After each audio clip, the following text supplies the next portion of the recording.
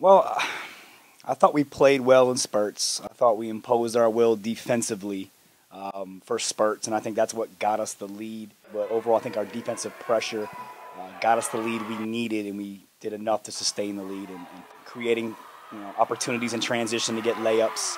Um, I thought in the first half we shot the ball pretty well from three. We had seven threes for the game, so I thought we shot the ball well from the perimeter. Uh, but again, it, a lot of it was generated from our press, and we got easy layups. Well, Tianna Smith, she's she's our the heart and soul of the team. She's got high energy. She's got a motor to her. She's always going to play hard. She's going to create havoc. She's tough. She's tough as nails, and you can see on the stat sheet.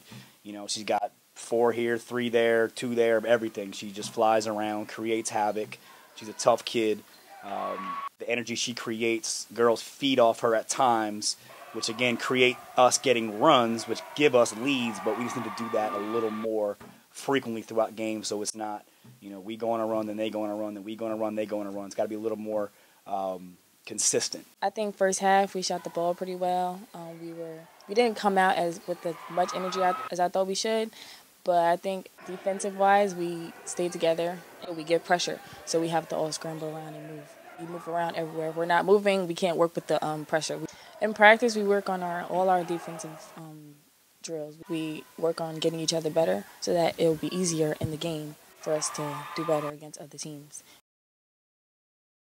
Well, LIU, we what was a battle last year. We only beat them by four, so I think it's going to be tough. But we have to stay together. We have to push through and do what we do, and we should should be a good one. Well, that's a big game. They're um, a top 25 team. They went to the Sweet 16 last year. Uh, we beat them early on the season, but it's going to be a war.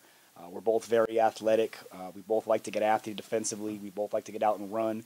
Uh, it's a big regional game, so we expect you know a battle um, for 40 minutes. So we'll prepare Monday and Tuesday, and then go up there Wednesday, and hopefully play a little little better than we did today.